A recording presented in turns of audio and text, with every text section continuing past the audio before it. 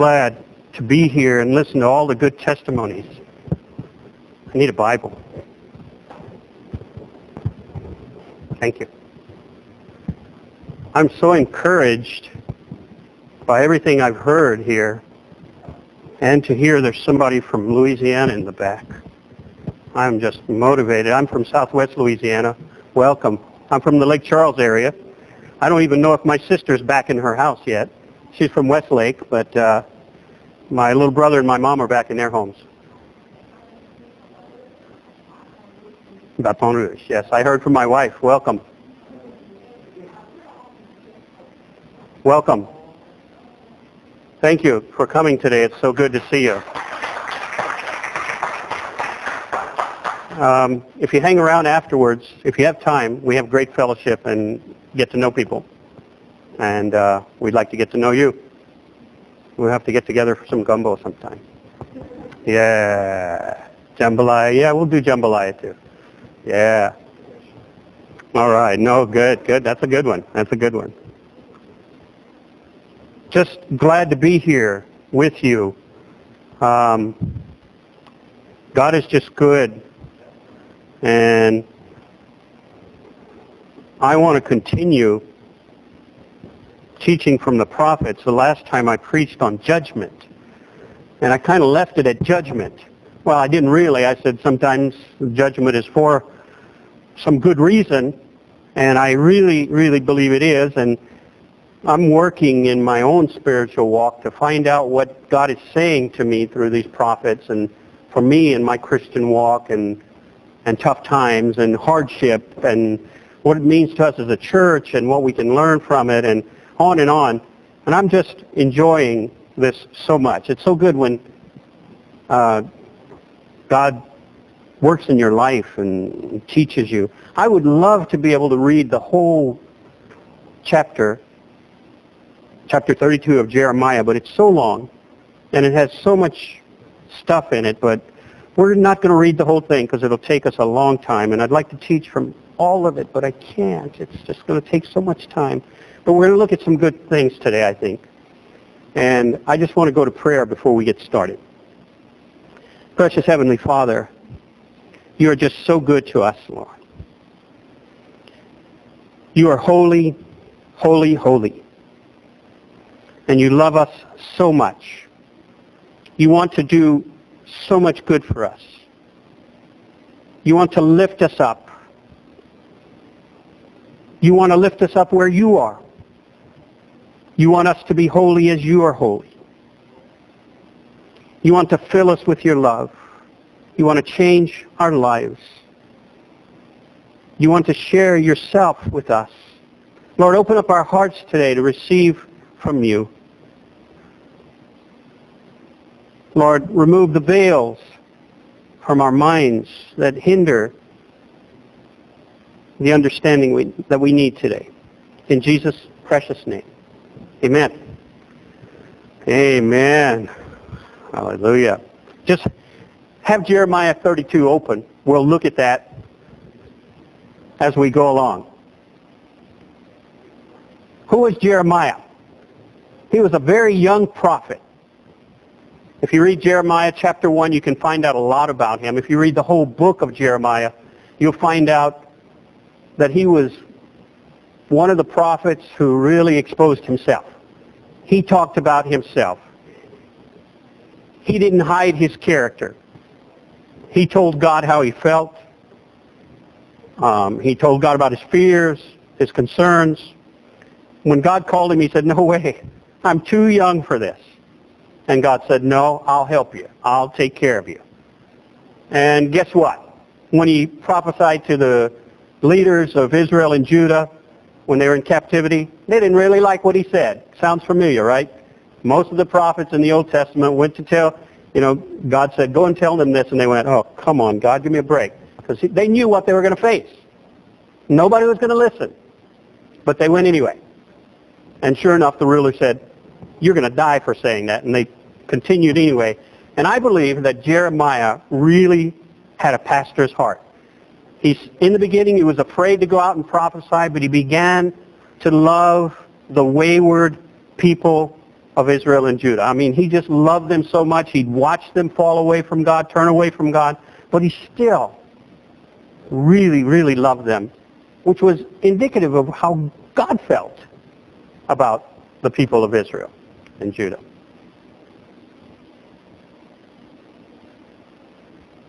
If we look at the prophets and the minor prophets, we can find this pattern all through them. God tells his people, follow me. They don't. He says, come on now. It's good for you. It's good for your family. It's good for your livestock. It's good for your crops. It's good for your health. I'll take care of you. Follow me. They don't. He says, okay. You don't want to do it the loving way. Go ahead and do what you want. And judgment comes upon them. They get attacked. They get wiped out. They get dr- dragged away to other countries. God explains the reason. They cry out and they say, well, why, why is this happening? God sends a prophet, explains it to them, and then he delivers them. And all too often, the cycle is repeated. Sound familiar? Sounds like me when I look in the mirror in the morning. All right. I think in chapter 2, this is the key verse and the key thought. What God purposes for his people. They will be my people, and I will be their God. God is determined to see this happen. What does he want for his people? I want them for me. I am jealous. I want you to be mine. And I want you to feel the same way about me. I want you to think in your heart, to realize in your heart that I'm your God. No other God's going to be anywhere close to what I can do for you or who I can be for you. And I think this is prevalent all through Jeremiah, but especially in this chapter. There are a lot of things happening here. We can see the old covenant, and then we can see prophecies about the new covenant in this chapter. And I wish we had time to just do an old covenant, new covenant kind of thing, but we don't, so maybe someday. We're going to look at Jeremiah chapter 32, verses 27 through 41, and I put but there because we're not going to look at all of that in detail. We're just going to look at a few verses today out of that. I'm going to explain some of this as brief as I can, but let's start reading in verse 27. Uh, let's go with 26. And I will read until I get tired. How's that? Then the word of the Lord came to Jeremiah. Now, okay, let me qualify this. Jeremiah was given a task. God said, go out and buy this priest's property, get somebody to witness it, make it official. When you push the hanko, make sure there's somebody there. And I want you to buy this piece of property. And after you buy that piece of property, by the way, I'm going to come in, I'm going to let an in, invading army come in here and take everybody away and be captive because they've sinned so much. I'm so sick and tired of it. But go ahead and buy that property anyway. And Jeremiah says, okay. And he did it. And then he prayed. He said, God, these people, you know, you are a great God. These people are not listening to you. I understand and everything. And by the way, I bought the property. I had it officially recognized. So, so what Jeremiah is saying in this great pastoral prayer is, please, God, give my people a break. Come on, God. I mean, I know you're angry. I know they're stupid. And I know it's the number, the 100th time they've done it. But, but God, you know, since I bought this property anyway, what he's trying to say is one more time, God, please. And he goes through this long, wonderful prayer. If any of you are a Bible study teacher or a pastor or considering any area of the ministry, read Jeremiah's prayer. It's a wonderful pastoral prayer. He lays out the, the badness of the people and he praises God at the same time. And he's really going as a mediator between God and the people. And then this is what God says in response to Jeremiah's prayer. I am the Lord, verse 27, I am the Lord, the God of all mankind. Is anything too hard for me, Jeremiah? I threw that in there. Therefore, this is what the Lord says. I am about to hand this city over to the Babylonians and to Nebuchadnezzar, king of Babylon, who will capture it. The Babylonians who are attacking this city will come in and set it on fire. They will burn it down, along with the houses where the people provoked me to anger, by burning incense on the roofs to Baal, and by pouring out drink offerings to other gods. The people of Israel and Judah have done nothing but evil in my sight from their youth. Indeed, the people of Israel have done nothing but provoke me with what their hands have made, declares the Lord. From the day it was built until now, this city has so aroused my anger and wrath that I must remove it from my sight. The people of Israel and Judah have provoked me by all the evil they have done, they, their kings and officials, their priests and prophets, the men of Judah, and the people of Jerusalem. They turned their backs to me and not their faces. Though I taught them again and again, they would not listen or respond to discipline. They set their abominable idols in the house that bears my name and defiled it. They built high places for Baal in the valley of Ben Hinnom to sacrifice their sons and daughters to Moloch. Though I never commanded, nor did it enter my mind that they should do such a detestable thing and make Judah sin. You are saying about this city, and this is God, by the sword, by by the sword, famine, and plague, it will be handed over to the king of Babylon. But this is what the Lord, now, please, when you see a, a but or a therefore in the middle of the text like this, pay very careful attention. Okay? This is a big, big word. Three letters, but very big. All right? Well, we've just been reading terrible things until now. And here we go. There we go. If I can find it again. But this is what the Lord of God, Lord, the God of Israel says. I will surely gather them from all the lands where I banished them in my furious anger and great wrath. I will bring them back to this place and let them live in safety. They will be my people. I will be their God. I will give them singleness of heart and action so that they will always fear me for their own good and the good of their children after them. I will make an everlasting covenant with them. I will never stop doing good to them, and I will inspire them to fear me so that they will never turn away from me. I will rejoice in doing them. Not they will rejoice. Listen to this. I will rejoice in doing them good, and I will assuredly plant them in this land with all my heart and all my soul. That's what God is going to do for Israel, for this people that turned away from him time and time and time again. Jeremiah prayed on behalf of this people. He went as a mediator. He poured out his heart. I mean, he pleaded with God. He obeyed God. He bought the land exactly as God commanded him to. I'm thinking in Jeremiah's mind, he says, okay, if I obey, if I do exactly what God wants, and if I praise him, and if I plead with him on behalf of Israel, just maybe, he'll turn away his wrath for a minute. I perform weddings. And before the weddings, I get about 45 minutes with the couple.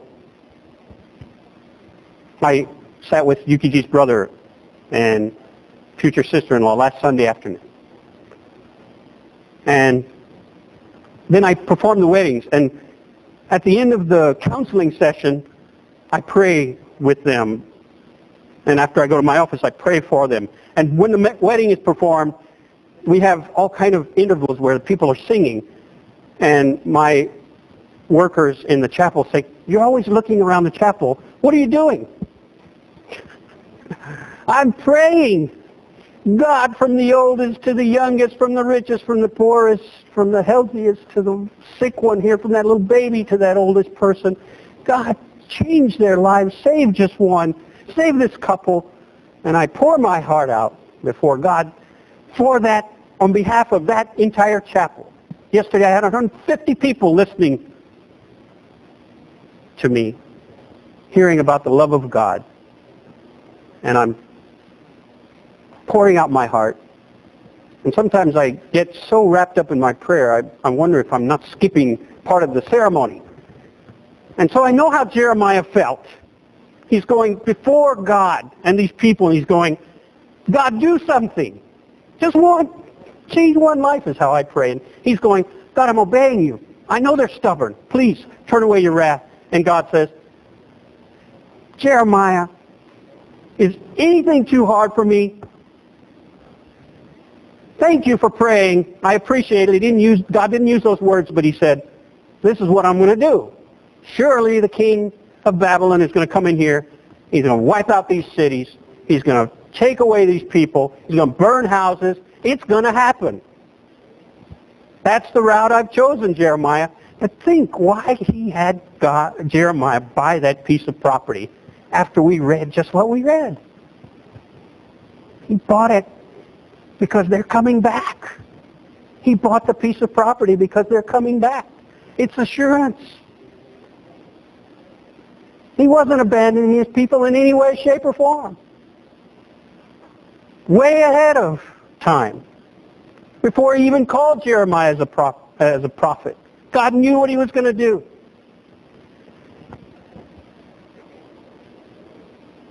God says, nothing's too hard for me. Not a thing. I can send these people away. I can use this hard thing to bring them back to me. And I can do a very gentle thing and bring them back. Actually do it. That's not too hard for me. God's response is that I will bring my people back. Now, no matter how far you go away, great testimony timely testimony. Thank you for your testimony. Raised in a Christian home. Successful life.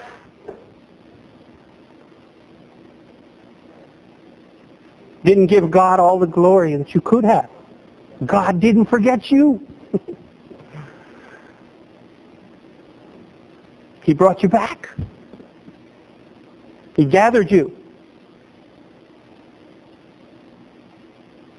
What does God do? What won't God do to call us to himself? God will go to every corner of the earth to gather you. He'll follow you all over the place. He'll chase after you. I was thinking, God is kind of like a stalker. He just won't let you go. You can't get away from him. Give up. Uh, let me just say this. If you have a determined teenage Christian relative who's praying for you, give up. Or if you have a grandmother who's praying for you, give up. God's not going to let you go. Surrender.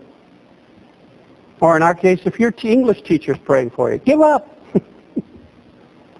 Look at this passage of Scripture let's look at just verses 40, uh, I'm sorry, let's see. Verses 37 through 41. Look at, these are just some of the I wills I wrote. I might have missed one here, but just fascinating. What does God say he's going to do? Listen. Is he doing this for a people who is following him di- diligently?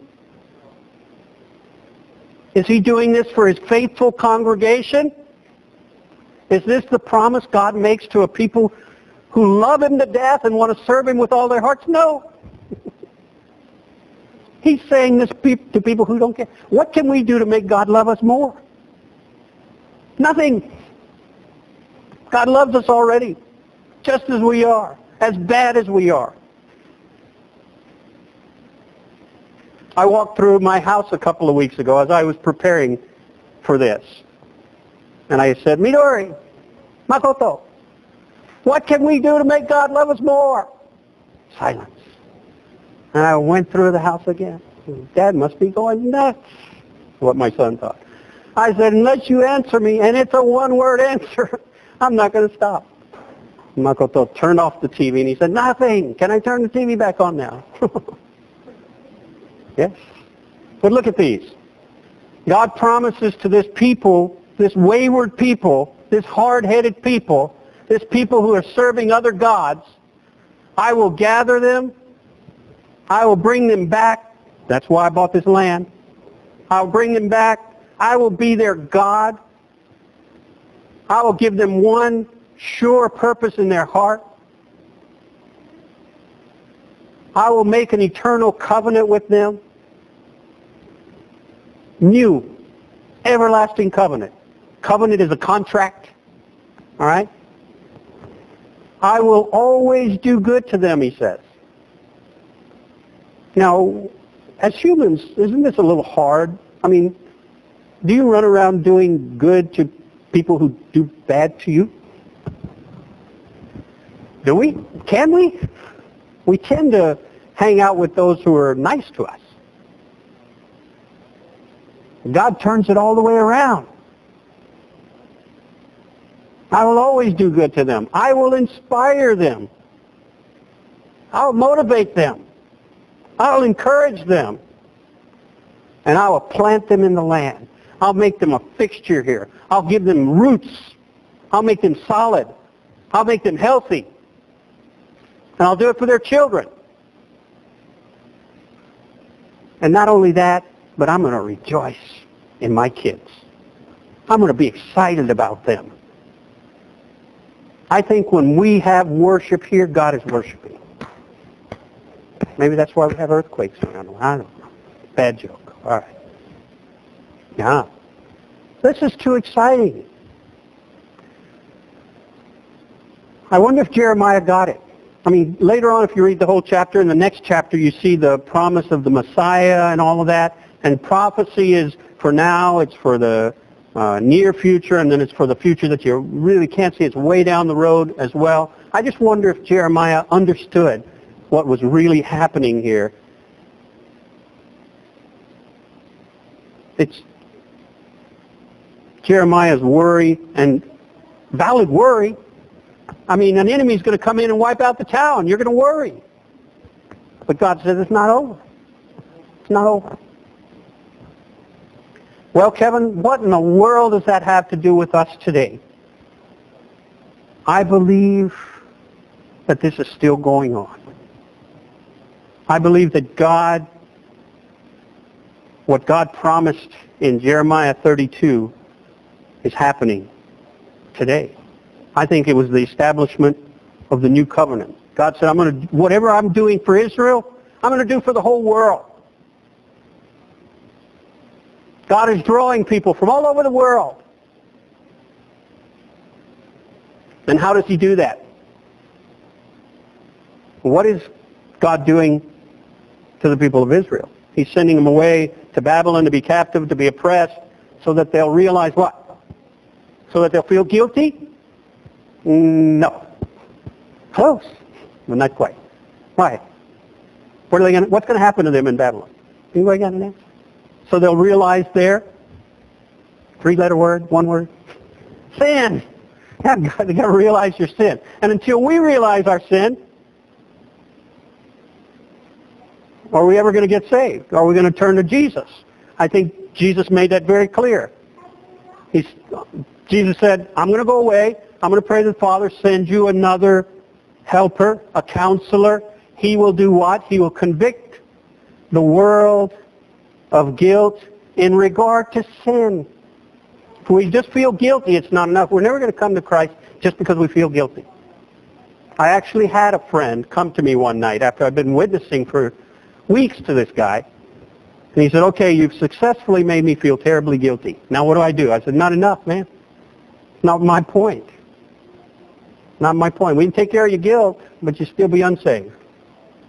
You've got to realize your sin, and that's what God is doing through the Holy Spirit in the world today. He convicts the world. He tells us who God is, and he tells us we have sin in our lives. God is gathering us by using the Holy Spirit to convict us of our sin. Does God still adopt? He said he was going to adopt these children back. He's going to pull them back. I'm going to adopt them back from Babylon. They're going to be mine. I'm going to replant them. Has he done that for us? If you're a Christian today, if you've turned your life over to God, to Jesus Christ, this is who you are and what God has done for you. Let me read it for you. Praise be to the God and Father of our Lord Jesus Christ, who has blessed us in the heavenly realms with every spiritual blessing in Christ. For he chose us in him before the creation of the world to be holy and blameless in his sight. In love, he predestined us to be adopted as his sons through Jesus Christ in accordance with his pleasure and will to the praise of his glorious grace, which he has freely given us in the one he loves. God is rejoicing here. This is just what he's saying in Jeremiah. I'm going to rejoice in these people. And when you and I come to him through Jesus Christ, he rejoices. Because he's adopted us. We're his sons now. We're his daughters now.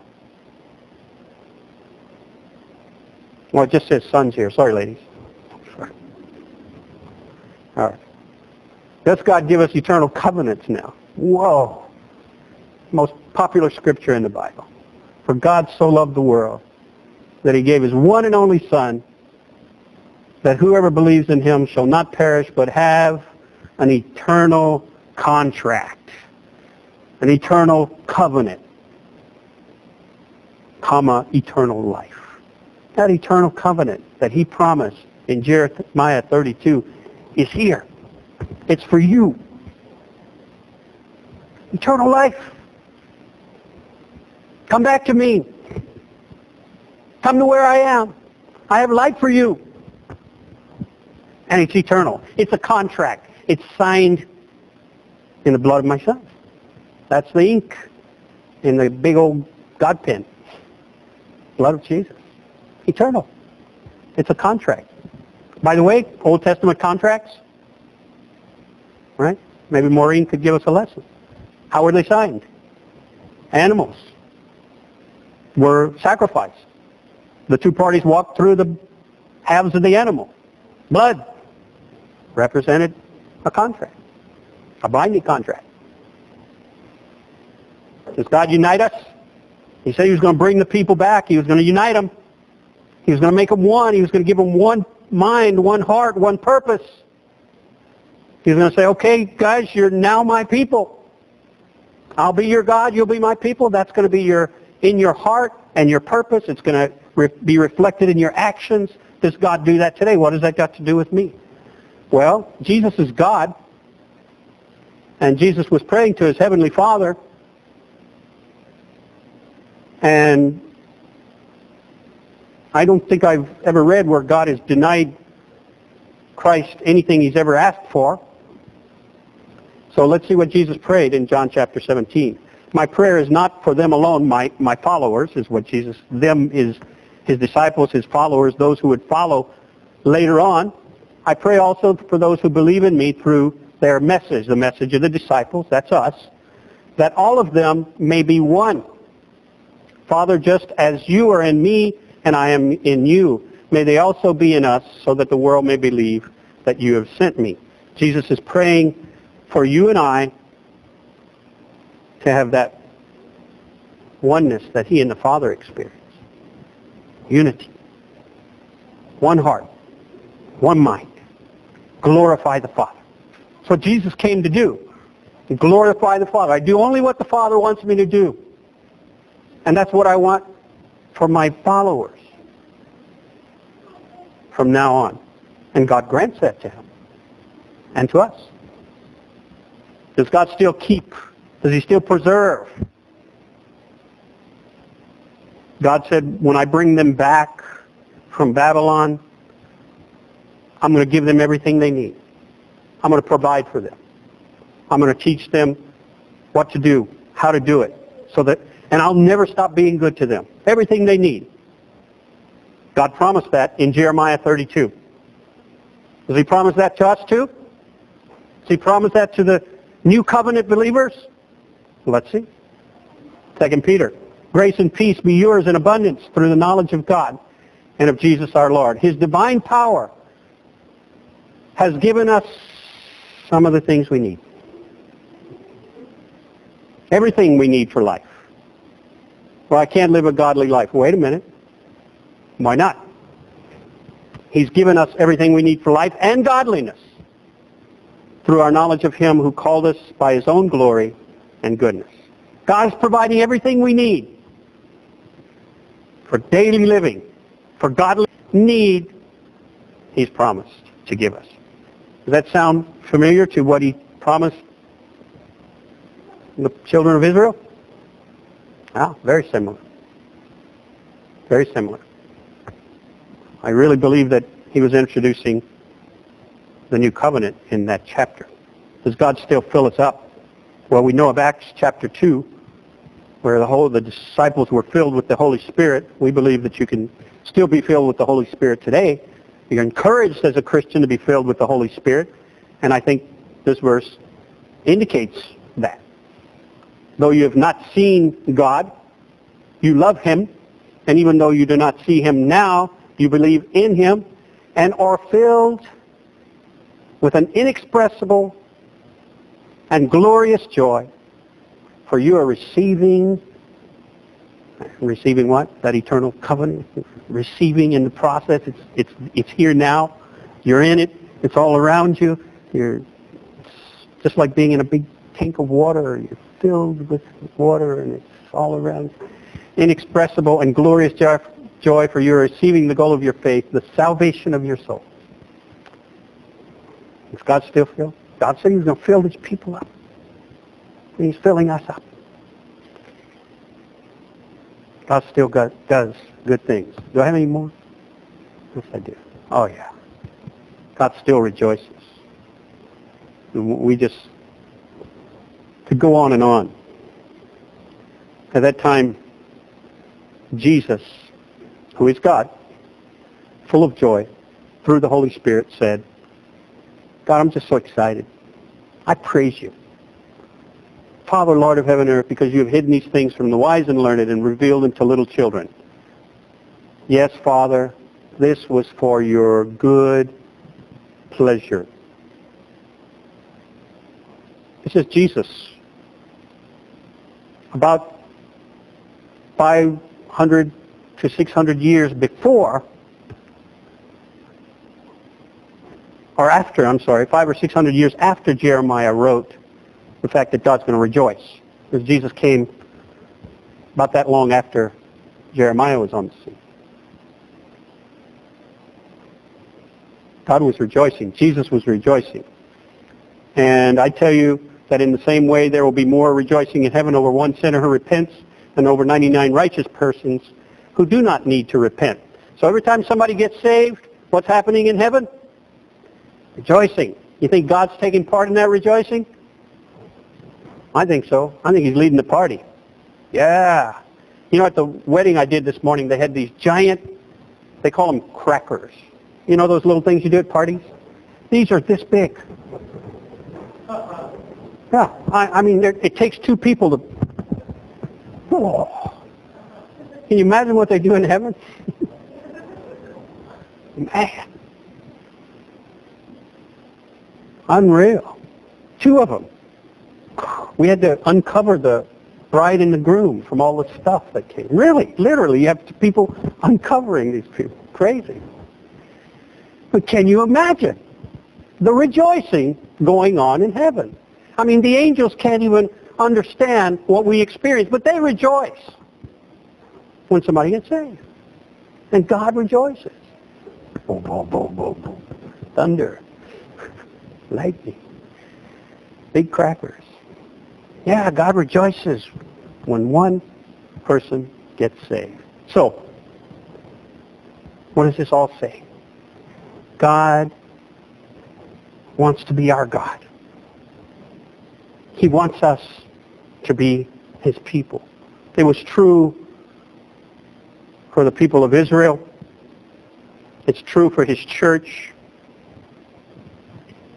And if you're here today and you're not a Christian yet, I'd like for you to ask yourself, what, what is my purpose in life? Who do I have who will care for me like God cares for me? If we go back a few verses, just to, we can find, do you have a God? Whatever your God is, whether it's nothing or whomever it is, or whatever it is, does your God care for you enough to gather you, to bring you back, to give you all these things, to always do good to you, to inspire you, to give you deep purpose, roots? You have a God that rejoices over you.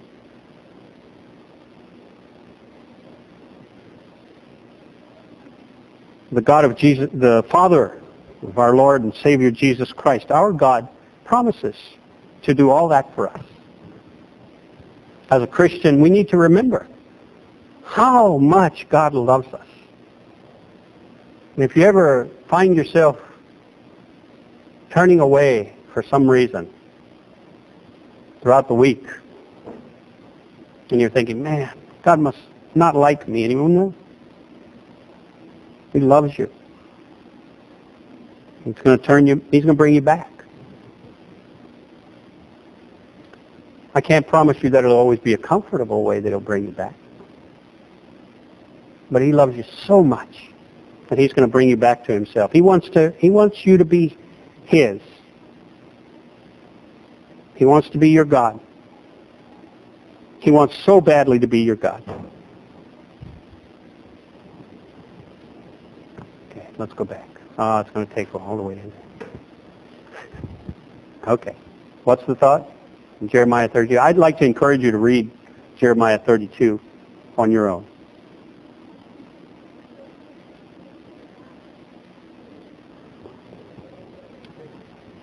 God purposes that we will be his people and that he will be our God.